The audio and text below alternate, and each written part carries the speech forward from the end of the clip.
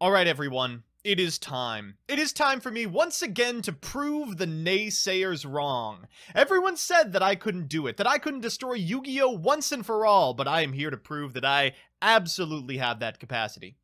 However, I don't think it will be done through the ban list that I released the other day. If any of you watched my video, you know that I have some pretty clear thoughts about what I can be taken off of the ban list, and you know from the last time we did this that I was absolutely 100% right and it had no lasting meta impact or repercussions whatsoever, which we could tell from a sample size of one tournament. King Hazana, thank you for the subscription. Today we come to test that thesis again. My most recent video advocates the unbanning of 54 cards and the limiting of 6 others.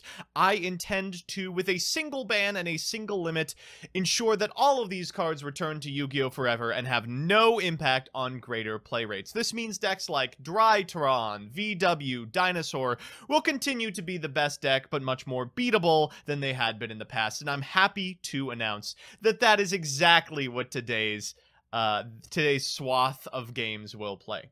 Now, before we get in to the actual games, which we will of course be able to bet on, uh, I will once again educate you about the ban list that I have made. So here is uh, the ban list, the list of cards that I think could change pretty much immediately.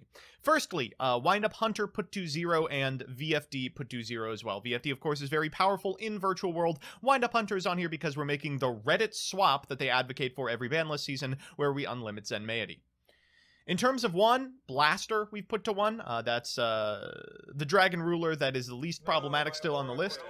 Kagigo, thank you for the subscription. Denglong we've put to one, which I'm a little hesitant about. Chicken Game we've put to one because FTKs are not particularly viable even with Chicken Game to one. Heavy Storm to one, which I don't think anyone really took advantage of, proving that it is absolutely uh, non-problematic. And Skull Dread in order to more effectively uh, cut back against deep draw decks that would otherwise probably pop up.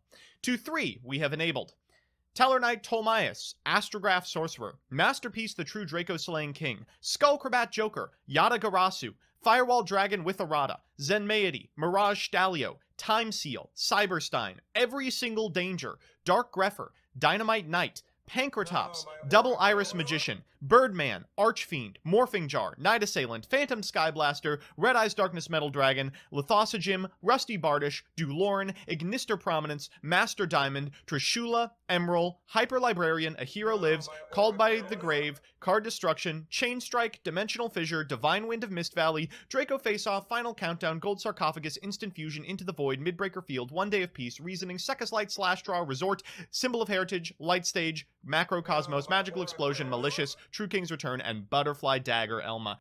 So with all of this, what could possibly be the best deck? With all these changes, what could the best deck possibly be? Many of you thought it was going to be some sort of degenerate oh FTK that involved Grapha. Many of you thought it was going to be True Draco. A non-zero amount of you thought it was unironically going to be Dark World. Well, I am happy to announce that I have picked 16 individuals who represent both the best of this format and the best of the hypothetical format that I have designed today. They are all playing different decks, and the decks are all poggers. Every single one a banger. So without further ado, I'm going to let you know exactly what they were playing. We've got Rin PG 333. They are playing Bird Up. Now, this is a bird up build that is on three copies of Divine Wind of Mist Valley. I don't I don't know what the interaction is. I think you're maybe you're leaving the Kinkabio on field, which triggers it. Does that even trigger it? I, I realistically could not tell you how good the card is, but I guess we will we will see. Next up is Sebastian, aka Sebto, on Chaos Thunder. Chaos Thunder absolutely made deep runs last tournament uh, just by virtue of having more dangers. This time, it's got a little harder road to hoe. Uh, its bracket is not particularly good. It unfortunately doesn't really have as many of the tools as any of the other combo decks do, and it lacks Thunder Dragon Colossus. So good luck to them, but we'll see. Danger Dark World is in here as well. I included this because everyone seems to think that this is going to be relevant. It's also a deck playing three Phantom Skyblaster, a card that many people have reservations about, and I'm willing to come around on. Originally, I wondered why no one played this card at one. It's because it requires an extra deck investment that doesn't make sense if you're only playing one copy, but if you're playing three, maybe it does. We've got Dinosaur. Dinosaur is just a good deck from this format, but it got a couple of things on this list. You'll note that this list is playing uh, Denglong, so we will get to see the really powerful combos that this card enables, as well as one copy of Lithosagym. You would expect more, right? Well, you would be wrong, because Lithosagym is really only okay. Uh, I'm excited to see how this one does as well.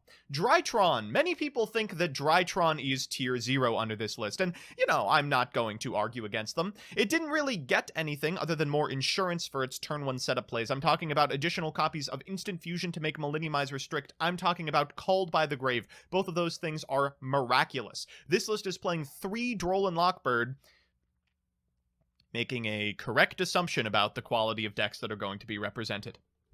Next up is Empty Jar. Empty Jar made a showing last time. It was able to take a single game off of Dinosaur. It's a very competent deck, surprisingly has a lot of tools like Gallant Granite and Papley Operative that don't seem very good on face, but actually amount to really powerful setups.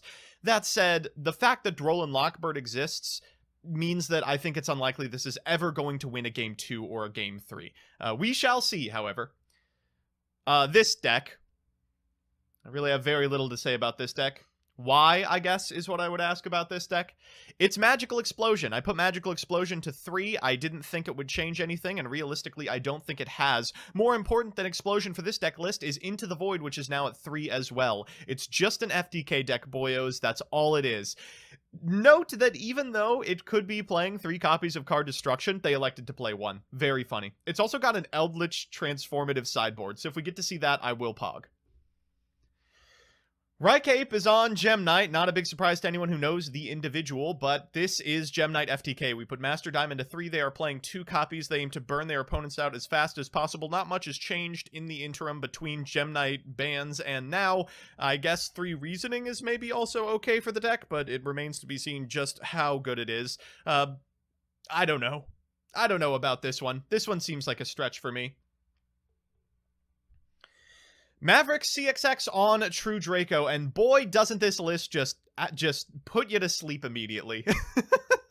doesn't this list just put you to sleep immediately? Not only is Masterpiece the True Draco slaying uh, man at three, they've elected to play two.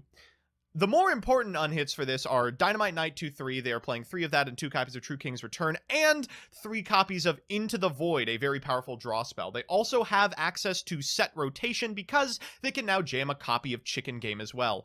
These pot ratios leave a little to be desired, but I guess we'll find out if they're effective.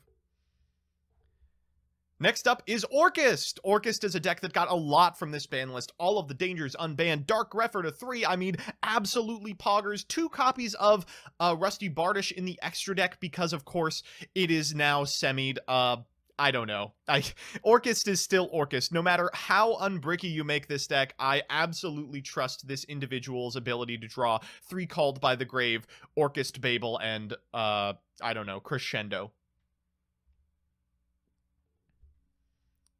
Nerd Factor is on Pendulum. Uh, we had a lot of different Pendulum decks enter, and this is the one that I think is the least oppressive to the eyes. Uh, there's a lot that came off for Pendulum, and it's hard to, after zero days of testing, just ask them to go into it blind and figure out what's good, but I think this is pretty close. Uh, they've got three copies of Astrograph Sorcerer. Again, without Electromite, this card is absolutely not a problem. Three copies of Double Iris Magician. Similarly, not an issue without Electromite, though probably wouldn't be an issue with Electromite either. And they're also playing some of the old OEM staples, things like Pendy Sork, um, the Time Pendulum Graph packages, and I'm shocked to see a Denglong suite as well makes its way into this list. High hopes for this one. Cyberstein FTK. Nothing to say here. I just nothing to say here. It is it is Cyberstein FTK. So you might be wondering why some of these cards are being played. Everything here is either part of a combo or is an enabler for Halqifibrax, which is necessary to get to the combos. Uh, you aim to make a bunch of Goyo defenders, and then Blaze Phoenix your opponent out using Cyberstein's effect while equipped with that little troublesome equip spell you see right there. Just an absolutely miserable list. This is VW. I mean, it's VW. Not much to say here. No, um, no copies of. No copies of VFD, which is nice. I guess the interesting part of this is they have the sideboard that, con- that contains a Nail Shaddoll Ariel and a Beatrice. That's pretty funny. But uh, that's that's about it. This is Sir Eminon's list, and it strikes fear into my little boy heart. This is horrifying. I mean, oh god. oh boy. Um, this is not an FTK. Uh, but about as close as you can get. It is a Dark Warrior list that aims to make use of the fact that a hero lives, Vyon, Malicious are all at three, all accessible at any point in the game. I mean, eh, I am hard pressed to think that this is going to be a problem. And notably, uh, Instant Fusion is in here without uh, MER. So this aims to prove that it's not uh, the new Eyes Restrict that's the issue with Instant Fusion. It's Instant Fusion full stop. And we shall see. This is Wind Up. Uh, Wind Up is a deck that I'm not super familiar with, so every time it makes any board, I am shocked to my core. But we've seen it go almost infinite in previous matches. The only problem with the deck is that it doesn't really have anything to end on. Even with infinite material, the best you're getting is a Megaclops plus an Apollousa, which is hardly the end of the world. I'm excited to see what this produces, especially if the Rabbit comes up at all, but we'll see. And finally, the worst deck with uh you know apologies to rebecca i suppose is this one. It's uh it's Yata turbo baby. It is Yata turbo baby. Uh it, it is simply Yata turbo. The idea is you can use the Shinobirds to shuffle your opponent's monsters or spell traps and then summon a Yata from deck ignoring its summoning conditions and getting around its special summon restriction. So you can I don't know, maybe make a Shinobird and then Yata them out of the game super quickly, but I don't think it's very likely. Uh, best of luck to Rebecca, but we'll see. And that's that. Those are your 16 duelists. One of them is going to walk with the ultimate prize, the ability to tell me I told you so, and also a box of the most recent set. All right, chat. It's time for our first match. Burrito Man 93 on Drytron versus Rhycape on Gem Knight. And away we go. Hey, it worked. All right. Chat seems to think that I believe Gem Knight is going to take this. Jesus Christ, 65% of you think Gem Knight is going to take this. You thought Drytron was tier 0. All right, here we go. So Rhycape is going first. They're going to lead with a copy of Reasoning. They're going to fire off this Reasoning and miss. They missed the Reasoning. Okay, they're going to go for the second Reasoning and they hit Parallel Exceed. Now, Parallel Exceed does trigger, so you get another uh, Parallel Exceed from deck. They then a normal summon a Crystal Rose and special summon an Adamancipator Researcher. From here, they can activate Researcher's effect, finding off the top. Oh, a lot of good ones. They'll go for Gem Knight Lapis, important to get Gem Knights. They'll go for a Cross Sheep and then trigger the other Parallel Exceed in hand. From here, they can go to Gallant Granite and into Phantom Quartz. Phantom Quartz is busted, gets them a Gem Knight Fusion in hand, and a Droll Lockbird coming down. That is it for the FTK. Oh my god. Oh no. Okay. Um I guess they're going to loop Crystal Rose just a little bit. They can go into another Phantom Quartz and then trigger Crystal Rose to bring it back using its effect again. No hard ones per turns on any of this garbage, by the way. Getting another monster to hand then firing off a Gem Knight fusion in order to make a Lapis Lazuli. They can't No way. No way can they OTK through this. Okay, there's brilliant. So Lapis Lazuli goes first. It does 25. They trigger Lazuli to special summon or to add back one of those. They go into a master. They trigger master. This is only 50. They don't have it. No way. Yeah, okay, I was going to say FTK through Droll, unlikely. So Apollousa Master Pass, kill me right now or I'm going to burn you to death. Burrito begins with a cyber emergency, follows it up with an alpha Thub, and They'll go for an Apollousa, but oh my god, they had not only Orange Light, but also Ava. That is just devastating. Absolutely devastating. Oh my god. Okay, well, they're going to go for a Gamma, uh, pitching this Benten, and then they'll get a Manju to hand. I believe that's going to be the end of the game. Manju's going to add a copy of Meteonis Drytron. They'll go into an Anima and make a Union Carrier. They will trigger Union Carrier in order to equip from hand, actually, a copy of Dawn Knight. Then bring back the Benten, triggering the Drytron in Graveyard, targeting this copy of Alpha to get it back in hand, and Delta, which they sent off the Dawn Knight, to go ahead and draw a card. They will Benten for a copy of Natasha, and then they will Meteorus for the Natasha before using Natasha's effect to gain a little bit of life points. Very important versus this, and go into Cerberus, destroying the Master Diamond. From here, they can Natasha to get the Brilliant Diamond, and uh, I, I believe that is all she wrote. I can't imagine they can come back from this. In fact, they won't even have an opportunity to. Out comes the Borrelsword, and down goes the Gem Knight player. Shocking, shocking game one, I'm sure. So here's game two.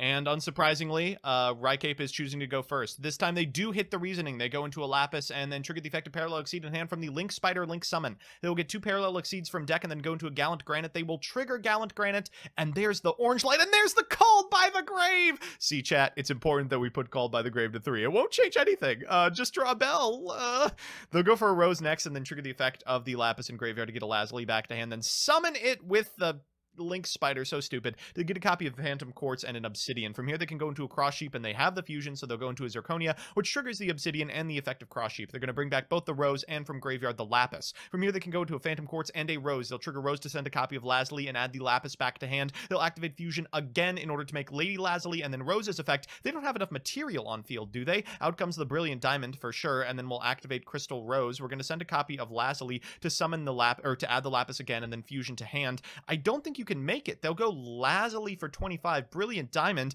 They'll go Master Diamond for 25. Uh, can they? Even without Droll, it's just Apollousa Pass. Damn, this deck sucks. All right, out comes Fafnir, out comes Nova, out comes Alpha. They'll go into a copy of Anima, and Jesus Christ, that's the wrong zone. All right, so uh, Apollousa will negate it. That's one down. They normaled the Dawn Knight, drew it twice. They actually drew two normal summons here. They're going to go for the Cerberus and the Dawn Knight, so they can't stop the Cerberus. They'll go to the battle phase and walk over the Apollousa, but you have to get over the Master Diamond. Wait, what the heck? Oh my god, wait! They just couldn't out the Master Diamond! This is the worst FTK I've ever seen. It's a two-turn FTK, And here they are, just getting enough materials on board to kill with it.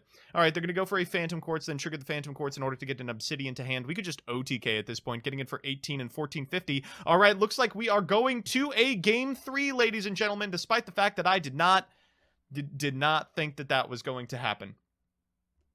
All right, now it's time for that old important Game 3, and unsurprisingly, Drytron is going to go first. They're going to lead with a copy of Preparation of Rites for a Benten. From here, they're going to activate Alpha pitching the Benten, and then trigger the effect of Benten in Graveyard as well. They add a Benten to hand off of the Alpha, and unfortunately, they can't lock the specials. They're going to have to go for Manju and a Meteonis. From here, they're going to fire off a Foolish Burial and no Droll GG, Delta Engrave, bringing back Delta and revealing Meteonis to draw a card, then triggering Benten to get a Herald of Ultimateness. I hesitate to think how they're getting out of this one. Union Carrier triggers here. They're going to go for a Dawn Knight and a Meteonis for a copy of Benten. They'll trigger the effect of Dawn Knight and the effect of Zeta. This is perfect time to fire off an Abiru. Oh my god. Wow. Okay, that is a huge one. They will add a Lancia off of the Benten, then summon back the Zeta and the Gamma by pitching the Zeta. That's going to bring back two materials, which can turn into a Fucko, but that's it. Wait a minute. Okay, Lancia and draw phase. What can you do through Lancia in this deck? Well, it's going to start with a Crystal Rose and be followed up with a Researcher. Researcher's going to trigger. We got to find something off the top. It is just a, a, whole bunch of lapises. We'll take a lapis for sure. We'll go into a link spider. We'll trigger the effect of Crystal Rose. No parallel exceed this time. We'll use Lazuli's effect to get the lapis back into hand. Then we'll trigger the effect of the link spider to summon a lapis from our hand to go into a phantom quartz. We'll trigger the phantom quartz and get a copy of fusion to hand. We'll go into a cross sheep, then fire off the fusion, and out comes Zirconia. That's enough to trigger the cross sheep, which is all we need. We'll get a Crystal Rose again. No hard ones per turn on this. We'll go for Lazuli. Again, no HOPT for a lapis to hand, and fire off the phantom quartz for a brilliant diamond. Brilliant diamond triggers, and we only have to do it twice because of the monsters on our opponent's side of the field. Wait, 4K into Apollousa, go to the battle phase, fucko triggers, and I guess we will pass turn. Well, that, I mean, that's fucko. That is fucko. Okay, well, they're going to go for Zeta. Apollousa still might be enough. I'm not sure. Gamma's effect, Apollousa triggers, and holy shit, are we just dead to Appo? Are you kidding me? We're just dead to Appo? Oh my god. Called by the Grave, the last card and the tier 0 super th threat Drytron has fallen in round number 1. to Gem Knight. Jesus. All right. To the 65% of you who predicted Gem Knight, congratulations. You are now the happy recipients of a ton of points. And let's prepare for the next round. So it's time for match two, and uh, we are not off to a good start. Watching a deck that I expected to still be really good die to an FTK is uh, a little debilitating. Uh, shakes my foundation just a little bit.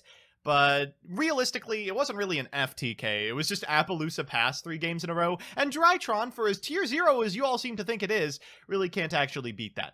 For round two, we have Cyberstein FTK versus Virtual World, another opportunity for an FTK to out a tier one threat. Let's see if they can pull it off. So we've got Kaboom on Cyberstein versus Gaia67 on Virtual World, and let's see how this plays out. We're beginning with a Diva. This is best case for the Cyberstein player. We're going to go from Diva into Neptabyss. That'll trigger Goyo Defender into Goyo Defender into Goyo Defender broken and... What? What the fuck? This, this, wait, this can't be the end of the combo. Do you have to draw stuff too? No! All right, so the virtual world player just making virtual world plays sans VFD, and turns out that's completely fine. They're going to go Lin Lin into Qinglong. They'll trigger the effect of Qinglong for a Lao Lao, and then they will pitch 2 2. They'll activate Chu, uh, Chuche's effect for an, a 3, actually, going for the Gossip Shadow, and then Lao Lao's effect, bringing back the 2 2. We've got two sixes, so we might as well make a Tolme. We'll trigger Tolme's effect and get back the Lao Lao for next turn before proceeding to battle phase and Defender into Defender into Defender, I suppose. Okay, sure. Um, that's 2700, and we will pass turn. Uh, this is not a very powerful end board, but it is a negate. Okay, here, we're going to go for it again. So Blackwing Sting the Poison into Pin the Hate and Droll and Lockbird, the sixth card in the hand. Pin the Bullseye triggers. They'll take 200 points of damage. They'll go for Halqifibrax, and that'll get ashed. Oh no, finally when they have the stuff, it's not enough. And that will be a quick game one for Virtual World. Who could have expected that? Who could have expected that? Certainly not me. All right, let's uh, let's check out game two real quick. I think unsurprisingly, the FTK player is going again, and they've found Halqifibrax. They're going to go into lefty driver, into defender, into nothing, into nothing. They're getting gamut. Holy guacamole, this dies to one hand trap. They're going to activate instant fusion. Okay, seems like you could have done that to begin with for an independent Nightingale, and then trigger it for 500 before passing turn. Uh, well, you know, it, it, it truly. Oh wait, no, wait. The VW player sucks too. They've set one card and passed. I guess that's VW. They get to go for it again. They'll normal summon a copy of Deep Sea Diva. That's going to summon a copy of Neptabyss the Atlantean Prince. Okay, let's try this again. We only have two defenders, so we'll get two of them. Go to the battle phase and... What is the point of this deck? What what exactly is the point of this deck? Oh, well, disparity will get them out of it. They go for three, and what do you know? There's a Qinglong. Qinglong will probably be enough. Nope, getting a Droll and Lockbird again. We will activate Gate and then ZC. I guess we just needed to be able to flip up the trap. We're going to uh, activate the Qinglong in Graveyard in order to get a Lulu, and this should be the end of the game. We'll go for Lulu's effect and uh, send a Qinglong as well, getting a Lao Lao. From here, we can go into a Juju, and I love these Synchro Monsters. If anything, we should ban VFD just so we get to see the Synchro Monsters. They're super sweet. Ver uh, Vermilion Dragon Mech at the end of this, getting eaten by Called by the Grave, but not a big deal. They'll go to the battle phase and walk over what they can. They're going to go for Defender's Effect, so they will take 350 followed by 900, and then uh, the turn will end, I suppose. Again, not that impressive, but like Salamangreat, it really just gets to do it every turn. They're going for the Halqifibrax. They'll go for it here. They're going to get a copy of Wielder and then pass. What is, what is the point of this deck? I... I am so confused. Oh, kaboom. I'm sorry, but an FTK with a 10% FTK rate is not going to cut it. It's it's just not going to work. Steven Uchicha, thank you for the uh, subscription and um yeah, this is this is not close. They're going for a 9. They're making enter Blanier. I guess to banish the Hulk before they can tag out. Not like they probably have a copy of anything to tag out into. And this is going to be it.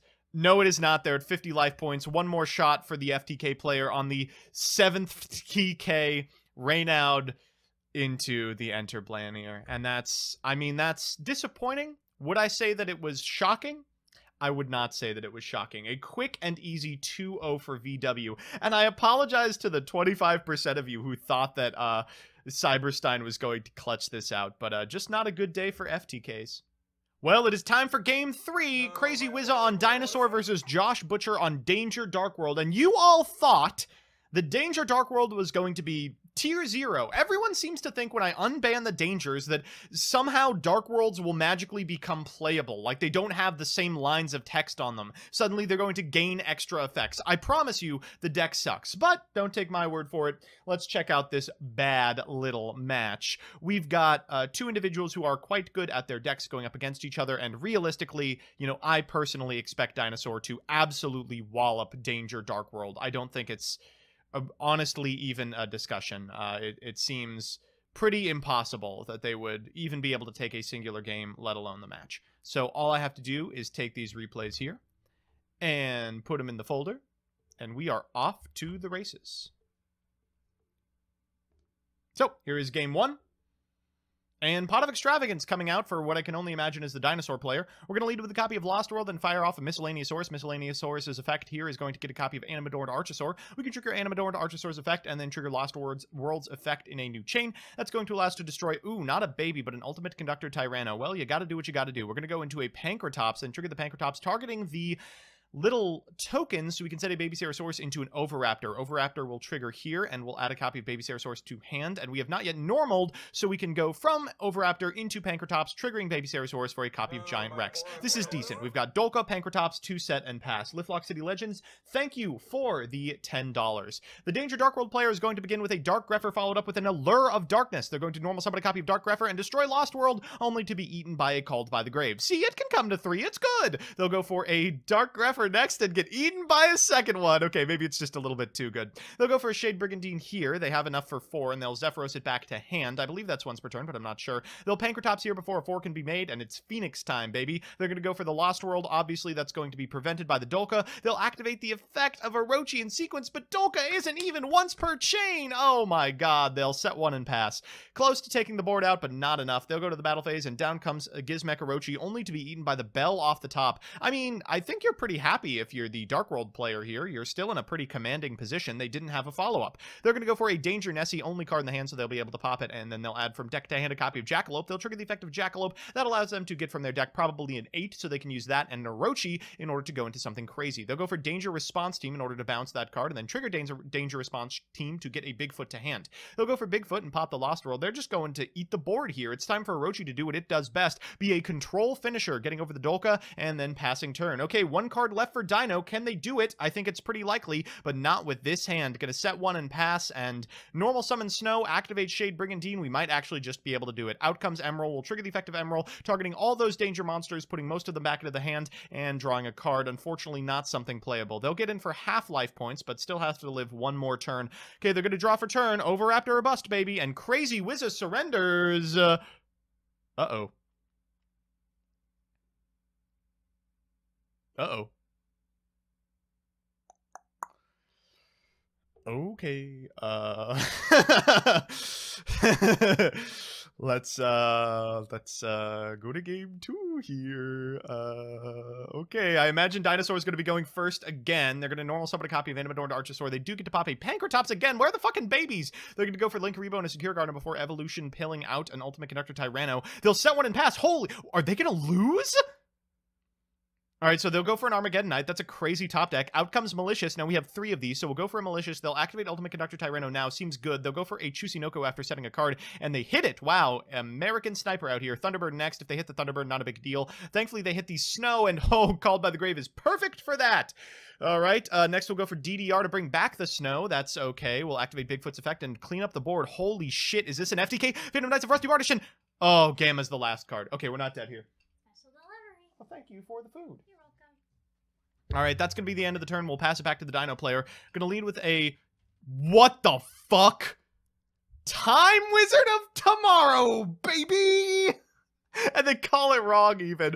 All right, they're going to go for a um a copy of Malicious here, then Dark World Dealings uh, for a, oh god, for a Phantom Knights of Torn Scale. Get in for 19. This deck really lacks any offensive pressure whatsoever and put the Giant Rex into the graveyard and Miscellaneousaurus off the top baby, banishing four, including the Giant Rex. This is totally the end of the game. That's, I mean, that's so pathetic. I'm, I'm so sorry. I, I really feel Oh, I feel so bad popping the uh, Oviraptor to get a double Evo pill, going into Secure Garden so they have the material for the double Evo pill, and getting a Tyranno. They're going to go to the battle phase and get in for a ton of damage. What an insane top deck. All they needed was a Lost World, some kind of whiff for once.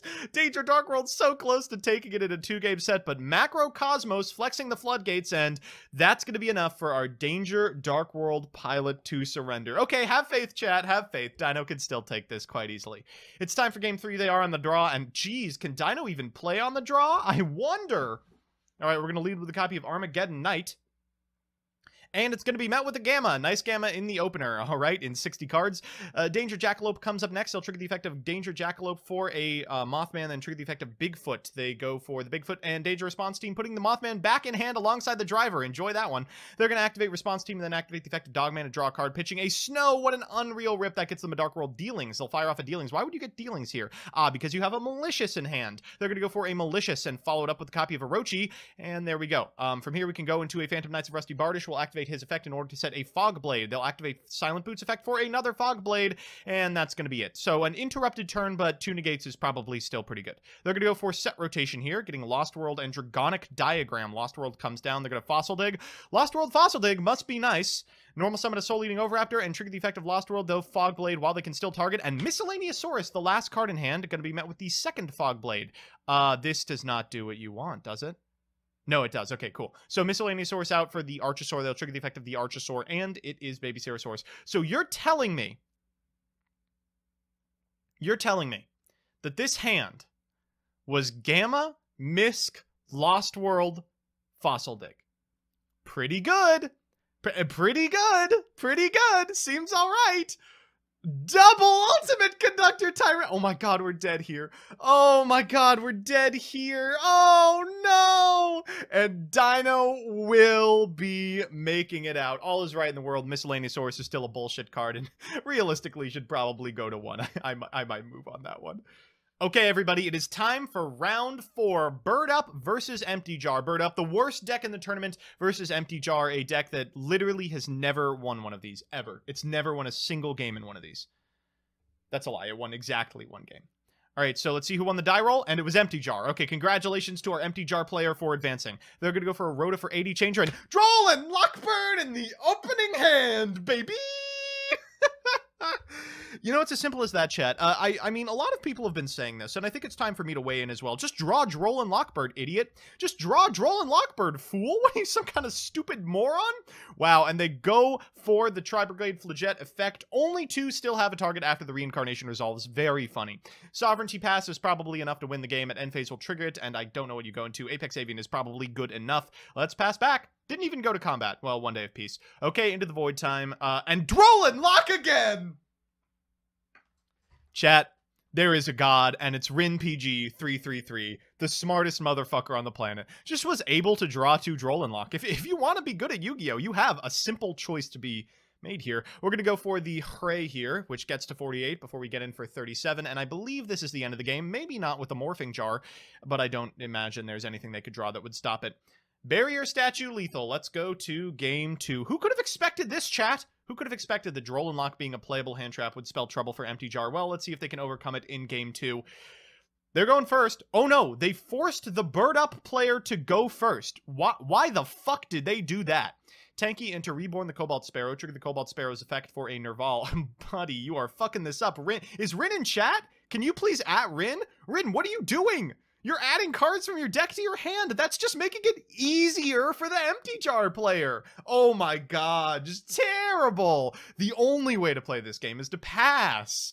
All right, uh, we're gonna go ahead and uh, get a Saros here, and then we're gonna normal summon a Saros. Then we're gonna trigger it for three. We're gonna get a Simorgh. We'll go into Linkuriboh, and we uh, that's the end of the game, buddy. I I don't know what on earth you do if you're the one day of peace is a good start. Book of Moon. Okay, all right. Out comes Hat Trigger. Out comes another one day of peace. We'll normal summon an AD changer, a Feather of the Phoenix to get back the one day of peace. We'll go for an anima. Trigger the anima. It'll be negated. Big surprise. AD changer. I. No, and called by the Grave Last card to negate the Linkuriboh effect. That means they will be able to prevent uh, this from locking them out of any summons, but they, they won't be able to do anything else. That is uh, that's that's it. So I guess what I would have to say about that match is uh, Bandroll uh, uh, uh, too good, uh, and uh, maybe next time we'll unban empty or uh, Cyberjar. This is this is pathetic. I, I'm so sorry. I'm sorry to anyone I conned into doing this. Divine Wind showed up. Shit, it's Divine Wind. Okay, one day of peace. Ash Blossom the one day so they don't get the negation, and that's gonna be the end of the game. Stupid. This is very dumb. Empty jar still bad. How could it have happened? I don't understand. So it is time for our next one. I'm talking about Dark Warrior versus Chaos Thunder, a match that we absolutely got right the first time and did not have to restart because I accidentally loaded in the previous replays. We've got two very competent duelists, Sebto on the Chaos Thunder deck and Sir Eminon on the Warrior one. Very powerful strategies, very intelligent duelists, and ideally, one of them is going to blast the other out of the water. Let's see exactly what happens. Take it over here. And it looks like Chaos Thunder has won the die roll. We're going into Thunder Dragon and Droll and Lockbird coming down. Simple as. Just draw Droll and Lockbird in your 60 card deck, idiot. All right, they're going to go for a Thunder Dragon Hawk into Roar. That's going to get an IP Masquerade and trigger the effect of Roar for a Dark, and you can't really do anything with it right now. Normal summon a Brotar, pass. Looking good. Looking good. All right, normal summon a Neospace Connector, and with no interruption, we're going into an Aqua Dolphin. We'll trigger the effect of Aqua Dolphin, pitching a Malicious. Jesus Christ. We'll activate the effect of Malicious in order to get a Malicious from deck, and from here we can go into a copy of Isolde. We'll trigger the effect of Isolde and get a copy of Giant Gearfried Man to hand. We'll trigger the effect of Isolde again, sending four. That's going to get an Armageddon Knight from deck, whose effect we will activate in order to send a Plague Spreader. We'll go for Connector's effect. Connector has an effect for an Aqua Dolphin. They will Dragon Dark here for a Dragon Dark, at which point we will Aqua Dolphin again, not once per turn. Very stupid. From here, we'll go into an Apollousa and trigger the effect of Malicious again.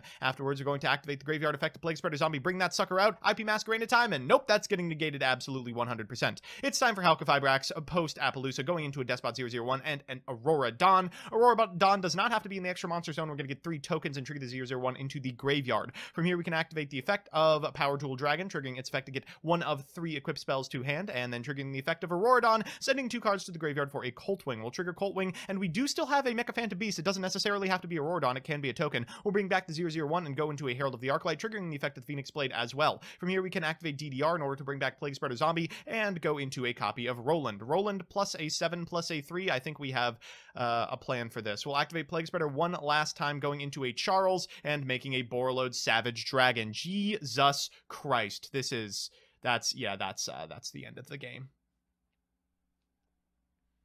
Holy shit, that was not close. Oh my god. All right, time for game two. No, my orifice. All right, game two time. Uh, Danger Jackalope coming out first. Uh, Thunder Dragon coming out second. No Droll this time, so we will get to see what this deck can do. Ch- Tsuchinoko coming down, summoning that and drawing a card, then normal summoning a Dragon Dark to go into Masqueradus. We can proc the Dragon Dark and get a copy of Roar. We'll trigger Roar and then summon back the... Oh, go get back the Duo, which we can then summon before passing. That's... That's not enough, I don't think. All right, invoked Raijin time. We're going to go ahead and target the uh, Thunder Dragon duo, which prompts a very early Nightmare Unicorn. That means that Raijin did exactly what it had to. They'll go for tier scale afterwards, pitching a copy of Ancient Cloak, and Sebel surrender. That. So, like, yes, Sir Eminon's deck is busted. That just makes me think that Chaos Thunder sucks shit. All right, so it is time for our next match. We've got Space Dandy 1993 on Magical Explosion versus Monarch on Orcust. And let me tell you, both of these lists look very good, but one of them looks very stupid, in fact. I'm excited to see if they can magically explode, I suppose. A lot comes down to the die roll, of course. Let's see what happens. Okay, so it looks like Magical Explosion has won the die roll, and I congratulate them on game one. They're going to go for the four gates.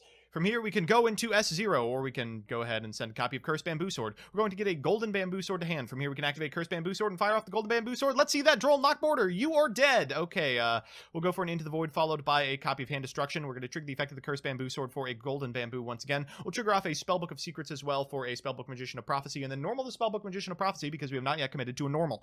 We'll go ahead and fire off the copy of Spellbook of Knowledge to be met with an Ash Blossom Pain. From here, we can go into a Golden Bamboo Sword, and then Memories of Hope off the top. Draw four. We'll tune table of contents, but you saw that they sent one of the targets already, and ugh, looks like they drew into another one. Another Numeron network as well. They're going to Allure of Darkness, and they do have a target. It's the wall. They'll fire off another Into the Void and an Upstart Goblin. We are getting dangerously close. Into the Void here. Hand Destruction. We're down to eight cards. Set to pass. Are they both Magical Explosion? Is it enough? All right, let's see. One, two. 48 48. Great game. Good game. Very good game. Very smart. Very good game. What I like the most is that there was lots of interesting counterplay between the two of them. All right, let's go to game two. This time the Orcust player at least gets to go first. Let's see what they intend to do with it. Lead with a return. Activate Nessie. Every danger in the universe. They hit Nessie. They hit Nessie. Five card hand. Jackalope next. Okay, they didn't hit Jackalope at least. Uh, Tsuchinoko as well. And they hit a Fogblade. That should be enough. They'll go for Gizmek Orochi, the Serpentron Sky Slasher, and make Bardiche. Bardiche pass, baby! Bardiche pass, baby! What's in that banished pile? Uh, what the fuck? This must be... Yeah, this is a Fogblade. All right. Uh, Allure of Darkness and into Spellbook Magician of Prophecy. From here we can go into... I think you would probably want to spend your Phantom Knights of Fogblade on that sucker. They're going to fire off a Spellbook of Knowledge, and then afterwards they're going to activate a uh, Into the Void, into an Into the Void, into a Terraforming. That Terraforming is going to turn into a Numeron Network. Numeron Network's effect is going to trigger. We're going to send from deck you know the drill. A copy of Numeron Calling, Outcome Four Gates, and a Cursed Bamboo Sword follows it up. We're going to go for a Golden Bamboo Sword that's going to draw true, two and a Memories of Hope drawing four. Void number two. Tune Table of Contents. I think we are out of TTCs. We might have one more. Yep. We'll fire it off for the last Tune Table of Contents. We'll go for Numeron Network. We'll go for Allure of Darkness. Draw a couple of cards. Banish our entire hand. They whiffed. They whiffed. All right. Well, congratulations to Orcust. A very good one. They'll go for Golden Bamboo Sword. No way. Oh, well, no. They're going to win because they still have gate access. They can get in, I don't think for 8,000 here. Yeah, Fogblade one of these suckers but uh, drastically lowers the amount necessary to Magical Explosion. They're going to go for a Utopic Zexal main phase 2, add a copy of Gold in the hand, and then pass turn Gizmek at end step. That card goes to the graveyard by the effect of you-know-what, and double Magical Explosion will clean it up. Stupidest, stupidest game I have ever seen. Just very silly. Okay, I I may have to rethink some of this. Maybe Into the Void to 3 was too good. Maybe Into the Void to 3 was too good. I will say for sure, it does give me hope that no matter what we end ban from this terrible ass deck, Orcust still, at any point, has the absolute power to die immediately for no reason. It doesn't matter. You that that deck had no scraps and it's still bricked. How? It's it's immaculate the only deck that can do that. All right, it is time for our next match. We have Stack Smashing detected on Windup versus Nerd Factor on Pendulums. Very heads up pendulum list. Uh, Windup, of course, can go infinite at any given time. Very excited to see what happens here. And we're also going to start a prediction because I forgot to do that. 1K Andy, by the way. I don't think it's even worth it. You all are going to go 99% for Pend. All right, we're going to begin. And who won the die roll?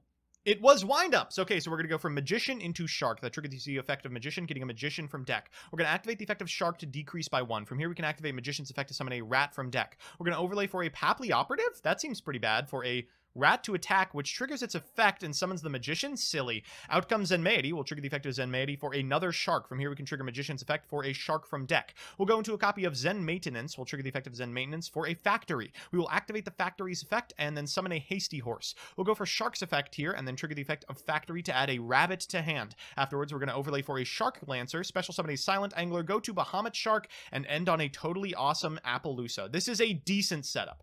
It's Valiant Shark Lancer, awesome Apollousa instant fusion leading for the uh, pendulum opponent, and it's MER. They'll go for a Stargazer Magician and a Wisdom Eye Magician, trigger the effect of Wisdom Eye, and then activate its effect for Wow, holy shit. Oh my god. Oh my god, what a chain. Okay, so it's Apollousa negating, Millennium Eyes Restrictor negating, Toadally Awesome negating, Astrograph Sorcerer, but Nerd Factor will still be able to resolve the effect of this Star Pendulum Graph and add a Pendulum to hand. They're going to Pendulum summon two, I believe, one of which is three, one of which is a Harmonizing Magician, which Apollousa will, of course, be negating. From here, we can go into a Halqifibrax and activate the effect of Halqifibrax, and that's the last Apollousa negate. We can go into a Selene and then trigger the effect of the Selene. That's three counters. We'll activate the effect of Selene to bring back the Millennium Eyes Restrict and go into an access code talker. Oh, it's just going to be an access code setup, that's probably good enough. Down goes the Lancer, down goes the Factory, and we'll go to the battle phase. Walking over the set Astrograph and proceeding to the end step can wind up clean this up. Rat's a good start. Shark start. Shark follows up. Obviously, we have to walk over the MER first. We're going to use Rat's effect to summon back the Zen Meity. We'll activate the effect of Shark to go down to three, then overlay for another Zen Meity. Zen Meity fires to get a rat from deck, and then rat will fire to summon a copy of Magician. We'll then go into a copy of Zen Maintenance, trigger Magician or Maintenance's effect for another factory. We'll activate Wind Up Magician's effect for a Wind Up Soldier from deck, then overlay for a Redoer and make access code Talker of our own. From here, we can go ahead and eat the entire board. We'll beat the access code Talker, we'll beat the Star Pendulum Graph, and shit, we don't have enough types. Redoer triggers, it's a monster. They'll go for Duelist Alliance off the top. It's Pendysork. Holy shit. All right, they're going to summon two the Wisdom Eye Magician, the Pendulum Sork, oop, and at the link point of the access code Talker, a monster as well. They're going to normal summon a Celestial Magician. Down comes Redoer. To the Banished Zone it goes. We'll called by the grave the Celestial Magician and go into a Dark Requiem. Holy shit. No way that does it. Oh my god, what a game that Nerd Factor pulled out of the depths of his own ass. That's that was incredible. huge, huge. Oh my god. All right, let's go to game two. Uh, I imagine that Windup will be going first again. Yep, factory opens are always pretty good. We'll go for a Gallus. Gallus sending Pankratops. That's a lot of damage. They'll go for Takatomborg and make a Zenmaity. Zenmaity triggers here to get a copy of Wind Up Shark. We'll trigger the effect of factory to add from deck to hand a Shark. Then we'll go into a Zen Maintenance. We'll trigger Zen Maintenance's effect alongside the effect of Shark, summoning itself and triggering Zen Maintenance for another factory. We'll activate another factory. God, this card is so broken. They'll go for Maintenance. for Shark, rather, to get a rat off of Factory, and then Maintenance in order to tag into another Shark, and then pass turn. Okay, so I I guess that's it then, right? Uh, okay, Halqifibrax time. We'll activate the effect of Halqifibrax for a Tuning Magician. We'll go into a Selene. We'll trigger the effect of Selene. We will get back a copy of Tuning Magician from the graveyard, I imagine. We'll go into Tuning Magician's effect. We'll get 400 and lose 400 and go to battle. Wait, what the fuck? Apo for two? Did they both brick?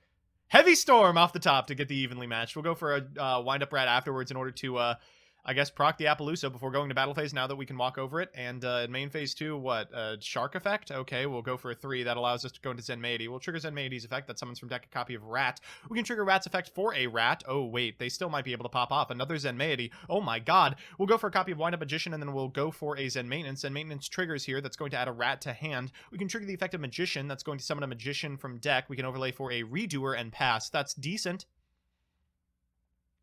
Redoer triggers and it's a spell. They'll pass turn. We'll Redoer for one in order to draw a card. It was Dark Ruler. Nerd Factor might have just overboarded. Gallus the Star Beast coming down, and this is lethal. Oh my god. What a terrible game. Well, uh, congratulations to the player that bricked the least hard, and now on to game three.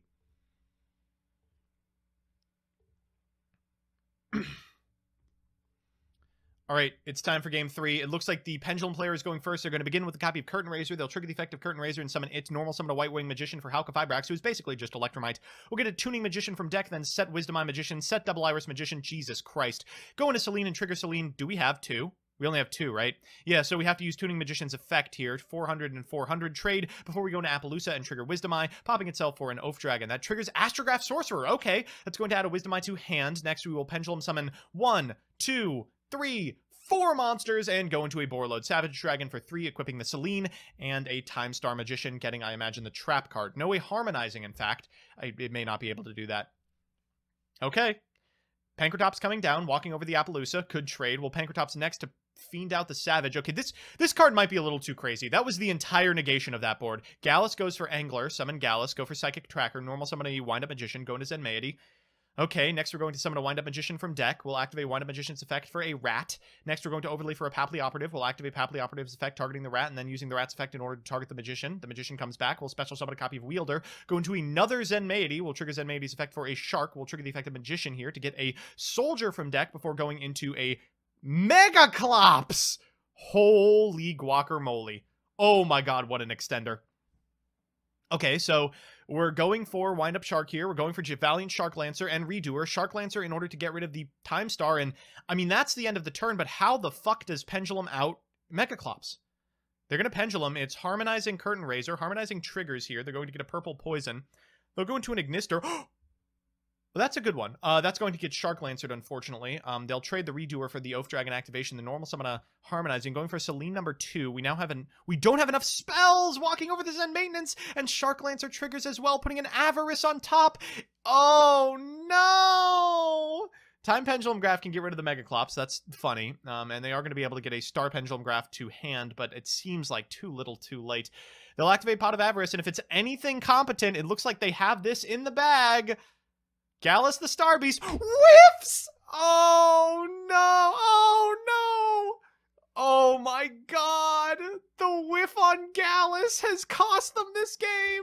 All right, Pendulum still has to have an insane turn. They'll lead. Well, Pot of Desires is a good start. Uh, they're going to fire off a Star Pendulum Graph, fire off a White Wing Magician, Oafdragon effect in order to get back this copy of Harmonizing. They're going to activate Time Pendulum Graph in order to pop the Valiant Shark Ray Lancer, and then trigger the effect of Star Pendulum Graph to get a copy of Wisdom Eye to hand. They'll activate Wisdom Eye Magician, then activate Wisdom Eye Magician's effect. That's going to add to their EMZ a copy of Perform Pal Celestial. They'll summon two, including a harmonizing for a double iris magician that allows them to go into Evil Swarm Nightmare. This is still a very beatable board, but they're almost out of stuff on the pendulum player's side.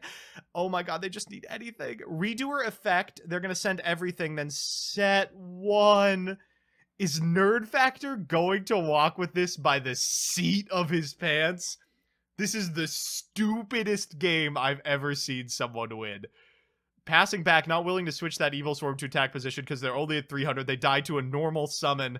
Oh my god. Oafdragon adding back the Celestial. Pendulum summoning one. Celestial and Curtain Raiser going to the battle phase.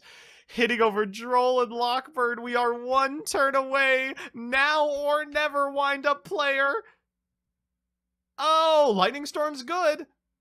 Lightning Storm's a good start. You gotta have a normal. Oh my god. Holy shit, and Nerd Factor walks with it in the most scuffed pendulum game I have ever seen in my entire life. So it is time for the last match of round one. We've got a really baller one. We've got Rebecca on Shinobird Yata a deck that just aims to summon Yata from deck and then lock their opponent, and Maverick CXX on True Draco, a deck that you all said was going to ruin the format. So we'll just have to see. All right, let's uh let's jump in, buddies.